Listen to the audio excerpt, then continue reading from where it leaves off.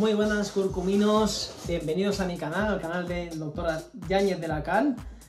Y eh, hoy os vengo a hablar de la canela. Para mí eh, las especias son muy, muy, muy beneficiosas. Son de los suplementos que tenemos que tener en cuenta como suplemento barra alimento. Y tanto os he hablado de la cúrcuma como del jengibre, como esta vez os tengo que hablar de la canela. La canela es una especia que me encanta por todos sus beneficios, porque es que no es que sean pocos, son muchísimos beneficios.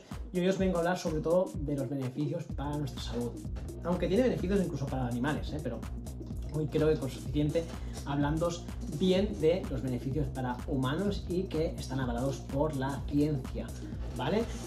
Principalmente, la canela mejora el sistema inmunológico, tiene beneficios mejorando patologías, sobre todo que están relacionadas con el sistema inmunológico y las que más evidencia tienen son enfermedades respiratorias y, del sistema nervioso central, ¿vale?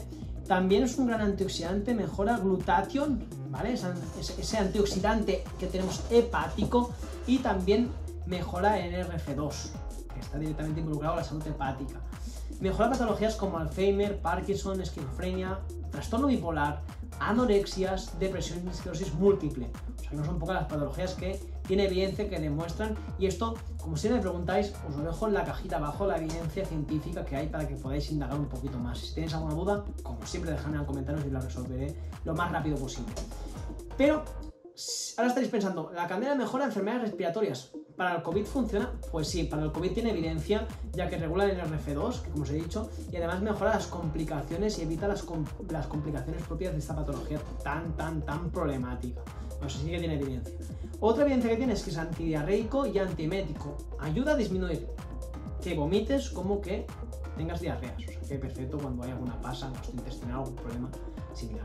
También tiene efecto antiinflamatorio disminuye TNF-alfa, interleuquinas 6, interleuquinas 1 beta, interleuquinas 10, interleuquinas 8, el NF-kappa beta, el TH17, TH1, aumenta TH12, que está colocado directamente con alergias, disminuye el par gamma y regula, el per gamma y el par alfa, aumenta T-rex, disminuye el SAT3, que es un efecto, o sea, un efecto que hay mucha inflamación y tiene un efecto antiinflamatorio, aumenta BDNF alfa, sabemos que es un protector a nivel cerebral y sistema nervioso y disminuye CYP1A2.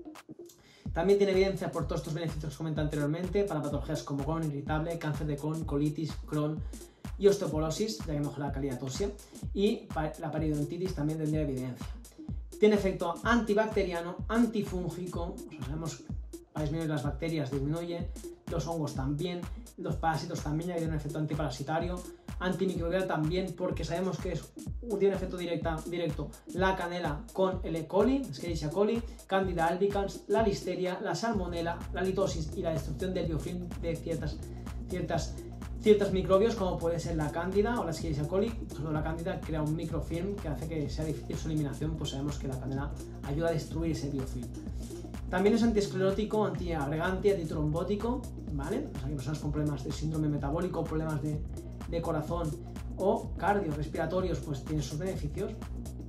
Disminuye el LDL, colesterol malo, aumenta el HDL, que es el colesterol protectivo, y disminuye triglicéridos en sangre, con lo cual personas con hiperlipidemias o hipertrigliceridemias tienen muchos beneficios.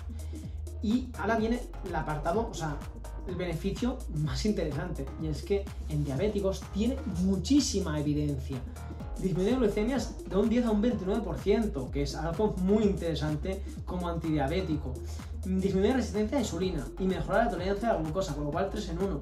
Y las hiperglucemias, como disminuye las glucemias, tiene también mucha evidencia con ello, disminuyendo las hiperglucemias, con lo cual en síndrome ovarios poliquísticos y en diabetes tiene mucho, mucho, mucho valor el aportar canela para estas patologías porque las va a mejorar. ¿vale? Tiene efecto saciante, disminuye la selección de grelina y disminuye la ansiedad, lo cual 3 en 1 perfecto. También disminuye la tensión arterial en problemas con hipertensión, o sea, tendría un efecto hipotensor y aumenta la producción de colágeno de forma natural en nuestro organismo.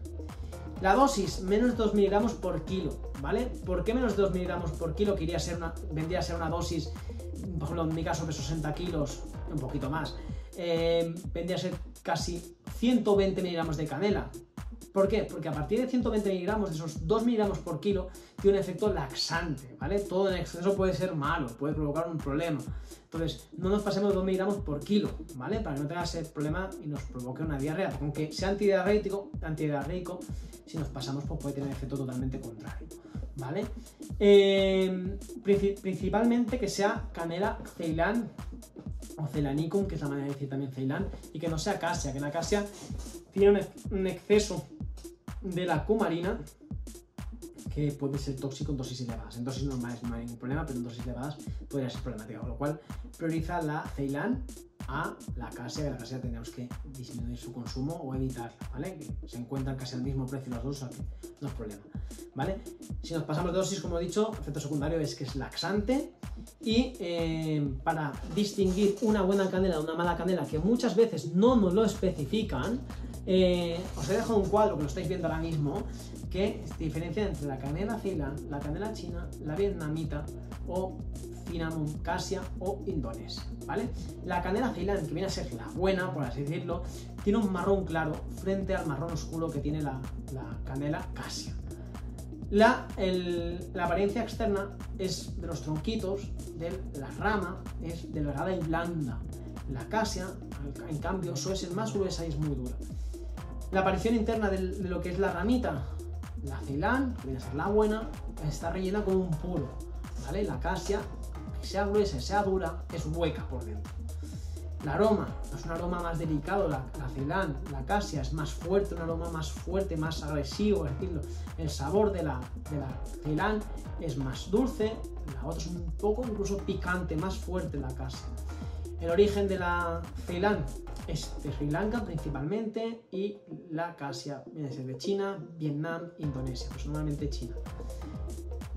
Eh, y por último, la especie, pues como veis, la Cinnamomum ceylanicum es la Ceilán y la Cinnamomum casia viene a ser la casia. Espero que con esto sirva un poco como de chuleta para saber distinguir entre una y otra. Ahora cada vez más canelas ya se pone canela casia o canela ceilán, pero si no, pues que sepáis distinguirla de esta forma, ¿vale? Sobre todo por el color. Una es más marrón claro y otra es mucho más marrón oscuro cuando compráis una u otra. Y nada más, curcuminos, sobre todo, darle a compartir si os parece interesante y puede aportarle a algún amigo vuestro, pues para que esté informado de la buena canela y de la mala canela. Eh, darle a suscribiros y a la campanita si os avisa cada domingo cuando subo un vídeo, os avisa. Darle a me gusta y sobre todo dejadme en comentarios si os ha parecido el vídeo, porque esto a mí me sirve mucho para los próximos vídeos, para hacerlos de una forma u otra, según si os gusta más o menos a tope y a seguir siempre fuertes, consuminos. Hasta la semana que viene.